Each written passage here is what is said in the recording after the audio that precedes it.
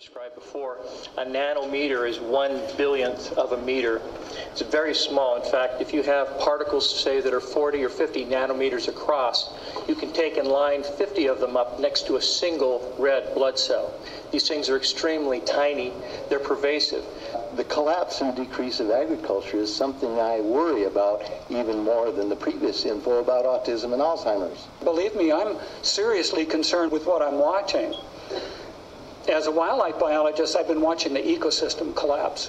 When you lose all your stream organisms, when you have aluminum overload in your streams, you're killing your microbial bacteria and you're disrupting the entire ecosystem. So it goes way beyond just a little bit of pollution. Um, how did Monsanto know to create aluminum resistant plants? I don't think I've heard anybody ask that question. We're seeing as in this example here, very hardy native plants completely flash out dead. That looks like it's been hit with some kind of a chemical.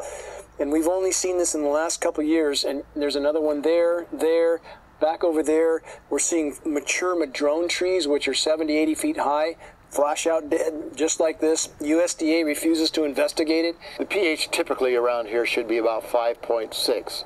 Well, since the contrailing got heavy, I watched the pH here in these forests, well, go up, I guess would be the word.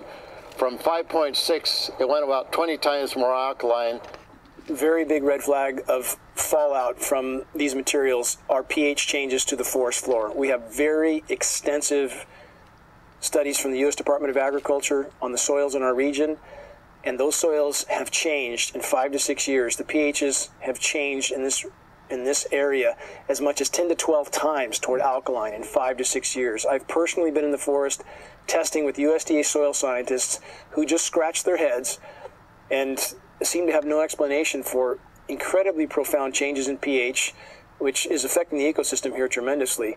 Aluminum buffer action, aluminum hydroxide is what we think it is, uh, plus the uh, barium carbonate, strontium titanate, strontium oxides, barium oxides, probably some aluminum oxides in there.